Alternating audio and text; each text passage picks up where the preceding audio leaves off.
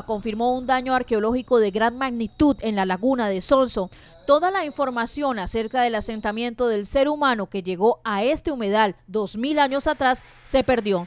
Todos los vestigios quedaron destruidos. Un compañero acaba de encontrar un pedacito de, cerámica de un, de un objeto de un eh, indígena precolombino de esa, de esa época, pero ya no se puede decir eh, a qué cultura y a, qué época pertenece de aquí a dos mil años atrás, porque se pierde toda evidencia. El antropólogo de Inciba, Alexander Clavijo, sostuvo que más de dos kilómetros tuvieron un fuerte impacto ambiental sin hacer ninguna clase de estudio previo. Todo lo que está pasando ahorita con el cambio de régimen de hidráulico va a afectar otros yacimientos arqueológicos probablemente que no se han sido, no han sido afectados, ya que los regímenes de inundación van a cambiar, todo este aspecto va a cambiar, entonces efectivamente es un daño grandísimo a nivel no solo cultural sino ambiental. Para la gobernadora Ilian Francisca Toro, la comunidad del sector son los aliados más importantes de las autoridades ambientales para evitar que esto siga pasando. Lo importante es que la comunidad está muy activa, que la comunidad se ha empoderado de, de este sitio,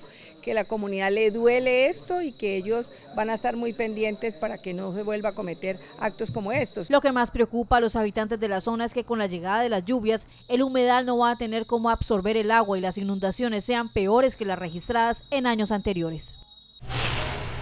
Este es el estado actual de la laguna de Sonso. La afectación en el ecosistema es devastadora e impactante.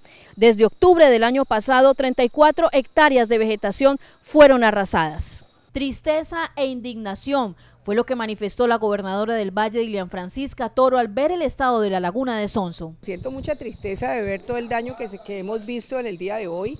Eh, eh, primero no vamos a tener en octubre, en septiembre y octubre el avistamiento de aves, la disminución de turismo, la problemática con los pescadores. Sostuvo que ahora se deben buscar soluciones, por eso delegó un grupo de topógrafos para que el próximo martes con la CBC hagan una visita y determinen el daño y el valor a reparar. El miércoles podamos tener el estimado de cuánto puede costar el poder hacer estas intervenciones de obra. Álvaro José Aguilar, presidente de la Junta de Acción Comunal de la Vereda al Porvenir en Buga, dijo que la situación de los pescadores es crítica. La situación de la laguna es bastante lamentable el río Cauca con el nivel que tiene y el estado de contaminación que también tiene el río, que no, es para nadie es un secreto. Arles Velasco, ambientalista, aseguró que el daño es incalculable. Aquí perdimos todo porque la laguna de Sonso es el humedal más importante del suroccidente colombiano, es patrimonio de los vallecaucanos.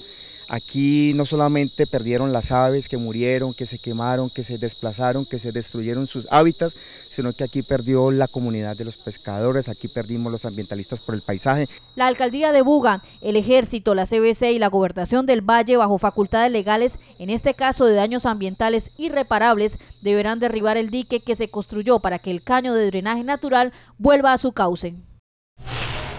Los diseños definitivos que darán vida a la ampliación de la vía Cañas Gordas que comunica Cali con Jamundí estarían listos la próxima semana. La gobernadora ha dispuesto en su programa de gobierno de que esta vía vamos a hacerle la doble calzada y estamos estudiando la posibilidad no solamente de llegar hasta Alfaguara, sino empatar Alfaguara con la vía panamericana que conduce hacia Popayán. Para la consecución de la totalidad de los recursos que serán invertidos en la construcción de esta vía, se estudian varias alternativas. Esa vía tiene alguna situación predial, pero los predios son, la gran parte son de la gobernación y también se están estudiando varias alternativas para la consecución de los recursos sin descartar de un momento dado, podría ser por valorización, pero pues no se han tomado las decisiones. El secretario de Infraestructura indicó que en el transcurso de este año se dará inicio a los respectivos concursos y licitaciones de ley.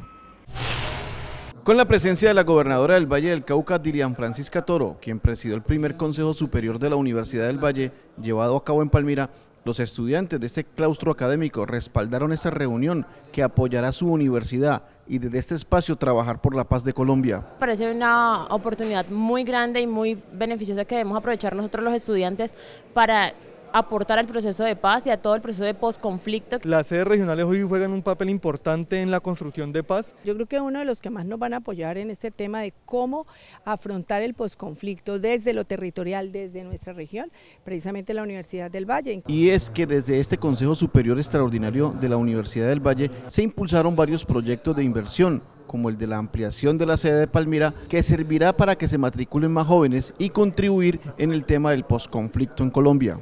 Por supuesto, porque son jovencitos que no tienen capacidad económica para irse a otras universidades privadas. Con el concurso de la gobernación, de la alcaldía y de la propia universidad, con contrapartidas de estampilla, podemos lograr que en los próximos dos años avance el proyecto de tener una segunda etapa de la sede Palmira. El Consejo Superior de la Universidad del Valle seguirá descentralizándose en el resto del departamento.